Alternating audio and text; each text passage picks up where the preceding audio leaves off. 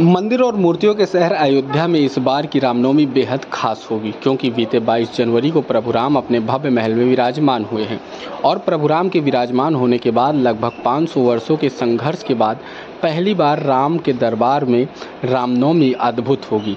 इस बार की रामनवमी सबसे अलग होगी, क्योंकि जब प्रभु राम का जन्म होगा दोपहर ठीक 12 बजे उस दौरान भगवान सूर्य प्रभु राम के माथे पर राज तिलक करेंगे।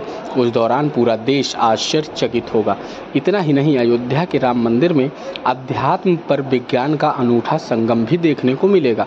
इसके अलावा रुड़की के वैज्ञानिकों ने प्रभु राम के माथे पर पड़ने वाले सूर्य की किरणों का ट्रायल भी पूरा कर लिया है। अब 17 अप्रैल को दोपहर 12 बजे प्रभु राम के मंदिर में भगवान सूर्य दर्शन करते नज़र आएँगे। यानी कि धार्मिक मान्यता भी है कि त्रेता युग में जब प्रभु राम जन्म लिए थे तो भगवान सूर्य एक महीने तक अयोध्या में रहकर प्रभु राम का दर्शन कर रहे थे। ठीक उसी प्रकार अब कलयुग में भी त्रेतायुग का दृश्य देखने को मिलेगा, जब सूर्यदेव अपनी रोशनी के माध्यम से प्रभु राम का दर्शन करेंगे। प्रशिक्षण अभी है, अभी इसका जो प्रयोग होगा, वो उस दिन होगा जिस दिन भगवान राम का जन्म उत्सव मनाया जाएगा। और इसीलिए अभी मात्र प्रशिक्षण है और प्रशिक्षण में जैसा कि वैज्ञानिकों ने जो खोज किया जिस प्रकार से प्रयास किया, वो बहुत ही सराहनीय है और बहुत ही अद्भुत है। क्योंकि भगवान रामलला के ठीक लीलार पर सूर्य का किरण जैसे दिखाई दे रहा है, जैसे मालूम होता है भगवान सूर्य उदय हो रहे हैं।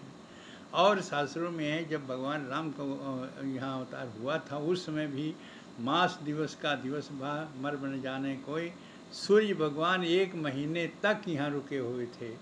तो वह अद्भुत दिशा उस समय का, त्रेता युग का। और कि तो अब इस प्रकार का जो भगवान राम प्राण प्रतिष्ठा हो गई है विराजमान हो गए हैं उनका भी दृश्य यह दिखाई देगा। यह दिखाई देगा रामनवमी के दिन भगवान राम जिससे जन्म लेंगे और उसी दिन इसका प्रयोग किया जाएगा। अभी प्रशिक्षण है अभी अभी उसका सही रूप से कहा नहीं जा सकता लेकिन यह प्रशिक्षण बहुत अद्भुत है दृश्य बहुत ही अद्भुत दिखाई देगा। महाराज जब कैसा लग रहा था उस अरे उस समय इतना आनंद आ रहा था इतना आनंद आया। और उस आनंद विभोर हो गए। हम कि, अरे, ऐसा दृश्य है मानो भगवान राम, त्रेता युगी राम हैं और उसी समय भगवान सूर्य उदय हो रहे हैं।